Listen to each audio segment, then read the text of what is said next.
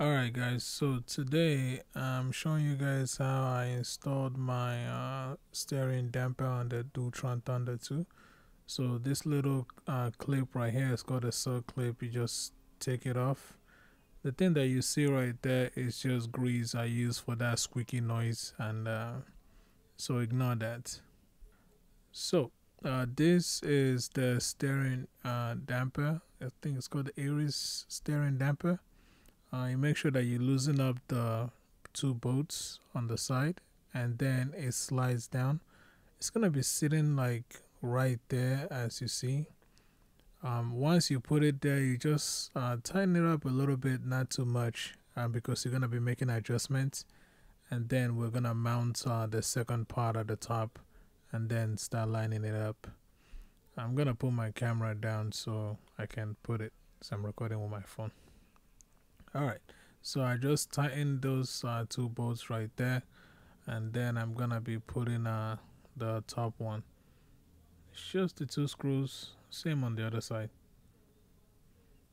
So this is the second piece. Sorry i dropped it. I'm recording with my phone. It's kind of difficult. I haven't seen anybody do this on their Dualtron Thunder 2 that's why I'm making this video. So if it helps you out that's good. Alright so we're just gonna put this through right now and uh, make sure you line it up with the um, so you can see the little groove right there. Just line it up and push it down. Easy peasy. So you're gonna make sure you adjust the bottom part. That's why I say not to tighten it too much so they kind of lined up and you know that is level um, the circlip that I was supposed to get with the steering damper, it was missing in the package. I already contacted Minimotors and they're already sending me one. I'm gonna show you guys what it looks like so you guys kind of see it. Uh, this is pretty much done. I mean, it's an easy setup. Just gonna show you guys what that this thing looks like. So this is the top part. This is the probably the last part that you're gonna have to install. So just gonna put it right on top and slowly push it down on both sides for it to slide in. Uh, you might want to play with it uh, because mine didn't go in a certain way.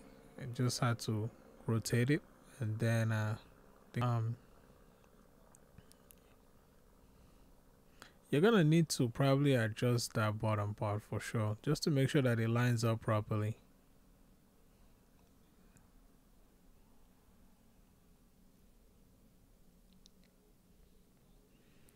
So remember the top part that you do have to tighten it up. Take up the bolt that was on there completely before I can put it on.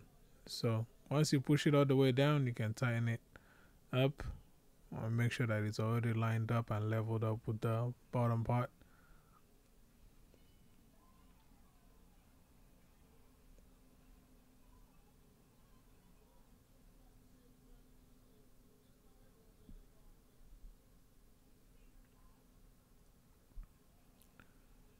all right once you already like tighten up everything you're pretty much done.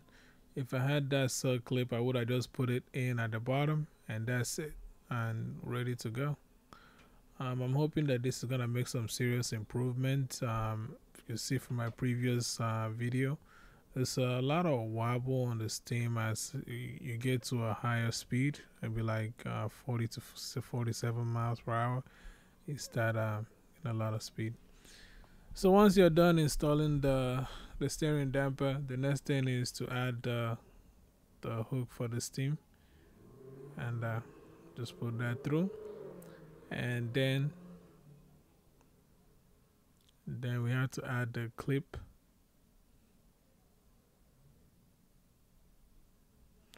I'm kind of surprised um, as to what the idea is with this clip is this clip really strong enough to hold on to this? So I'm kind of surprised that this is just being held on by a clip.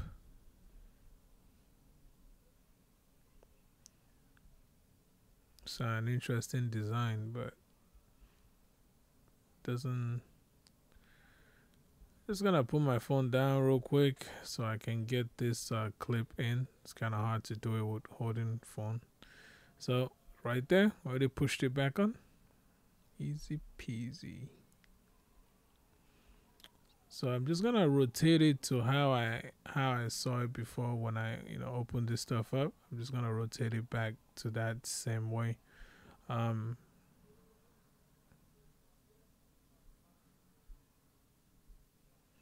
again, the the grease that you see on the steam, that is just um, for to stop that noise, the squeaky noise that you get. So that's how I had it. That's how it was when it came. So just put it back the same way. That's pretty much done. Uh, like I said, just waiting for that clip. Uh, so you're just gonna, I mean, once you get the clip, you just push it down and then just like the one at the top that I just put the clip on, you do the same thing with the dampener and then you have the adjustment at the bottom easy.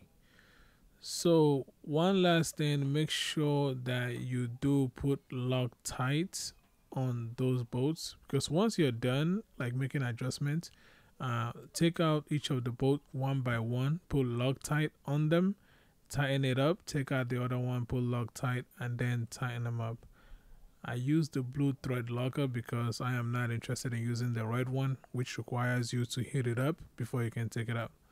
So make sure that you do this is really important. So I wait for those clips to come but as you guys can already see it's pretty easy to install and straightforward. Thank you guys for watching. If you have any questions feel free to ask and don't forget to subscribe.